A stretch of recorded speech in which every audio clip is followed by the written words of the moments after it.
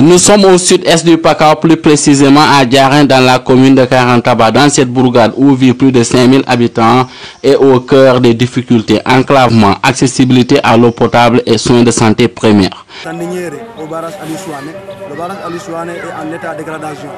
De dégradation, on ne sait même pas euh, comment on va vivre. C'est avec l'hivernage qu'on peut les gens se soulèvent pour essayer de réparer certaines situations.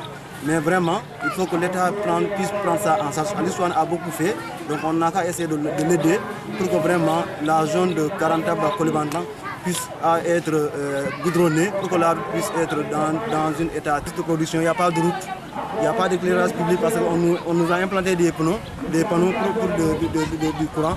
Alors qu'il y a des, villages où pendant deux ans, on a inscrit des installations, il n'y a pas eu de courant. On ne veut pas qu'il y ait ces, ces, ces, ces, difficultés. On veut vraiment, comme les travaux sont démarrés, pour qu'on puisse faire rapidement pour finir ces travaux. Tout avant l'hivernage, on puisse avoir de l'électricité parce qu'on en a besoin.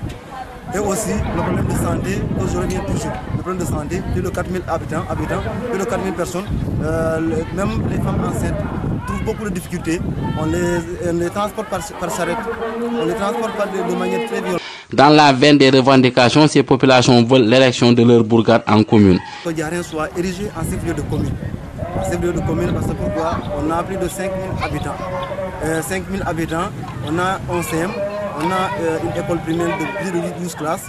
Donc on, on, ne voit pas pourquoi, pour quelle raison on ne doit pas être érigé en commune. Il y a des petits villages qui sont érigés en commune, pourquoi pas Diarén Donc on est au même pied de qualité avec, comme, comme, tous les autres. Donc nous demandons à ce que vraiment Diarén puisse être érigé en chef de commune.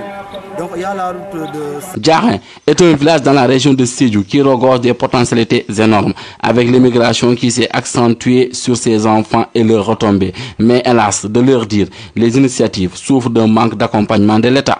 Sédhiou, Walfadjri Radio TV, Lamine Bayo.